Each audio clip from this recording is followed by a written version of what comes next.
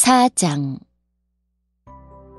그리스도께서도 고난을 받으셨습니다.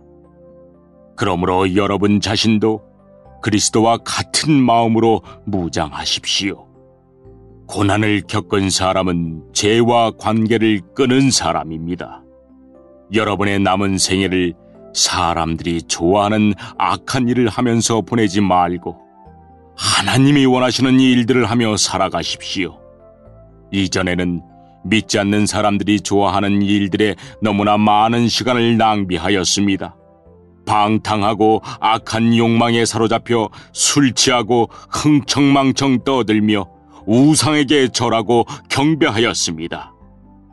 이런 것들은 지나간 때로 충분합니다. 믿지 않는 이들은 자신들이 하는 방탕한 생활에 끼어들지 않는 여러분을 이상히 여길 것입니다. 또 경멸하고 비웃기도 할 것입니다. 그러나 그들은 자신들이 저지른 잘못들을 산 자와 죽은 자를 심판하시는 하나님 앞에서 낱낱이 말하게 될 것입니다.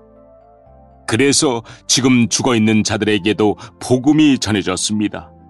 모든 사람과 똑같이 그들 역시 죽음의 심판을 받을 것이나 영으로는 하나님과 함께 살게 하기 위해서 그들에게도 복음이 전파된 것입니다. 세상의 종말이 가까워 오고 있습니다. 마음을 깨끗이 하고 침착하십시오. 그리고 정신을 차려 기도하십시오. 무엇보다도 서로를 깊이 사랑하십시오. 사랑은 다른 사람의 허물과 죄를 덮어줍니다. 불평하지 말고 서로 대접하십시오. 하나님께서는 여러분 모두에게 성령의 선물을 허락해 주셨습니다. 또한 각자에게 특별한 다른 선물을 주심으로 하나님의 은혜를 알게 하셨습니다. 그러므로 하나님의 선물을 가볍게 여기지 말고 착한 종처럼 남을 돕는 일에 사용하십시오. 말씀을 전하는 사람은 하나님의 말씀만을 전하는 사람이 되고 봉사하는 사람은 하나님이 주시는 힘으로 남을 도우십시오. 무슨 일을 하든지 예수 그리스도를 통해 하나님께서 영광을 받으시도록 하기 바랍니다.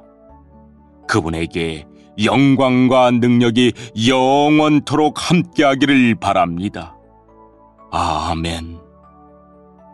사랑하는 여러분, 고난을 받는 중에 당황스러워하거나 놀라지 마십시오. 그것은 여러분의 믿음을 시험하는 것입니다. 그러므로 여러분에게 이상한 일이 일어나고 있다고 생각하지 말고 그리스도의 고난에 참여하게 됨을 기뻐하시기 바랍니다. 그리스도께서 영광 중에 다시 오실 그날에 여러분은 기뻐하고 즐거워할 것입니다. 그리스도의 이름 때문에 모욕을 받는다면 그것은 도리어 복입니다. 이른 영광의 영이신 하나님의 성령이 여러분과 함께 계시다는 표시이기 때문입니다. 누구든지 사람을 죽이거나 도적질하거나 다른 사람을 괴롭힌 죄로 고난받지 않도록 하십시오. 그러나 그리스도인이라는 이유로 고난을 받았다면 부끄러워할 필요가 없습니다.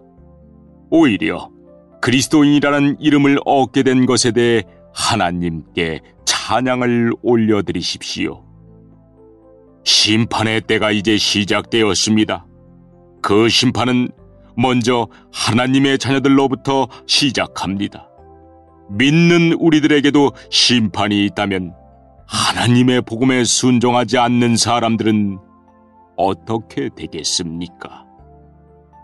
선한 사람들도 구원받기 힘든데 악한 사람들과 죄인들이 어떻게 구원받겠습니까? 그러므로 하나님의 뜻에 따라 고난받는 사람들은 하나님께 자기 영혼을 맡겨두십시오. 하나님은 우리를 지은 분이시니 우리 영혼을 지켜주실 것입니다. 흔들리지 말고 옳은 일에 계속 힘쓰시기 바랍니다.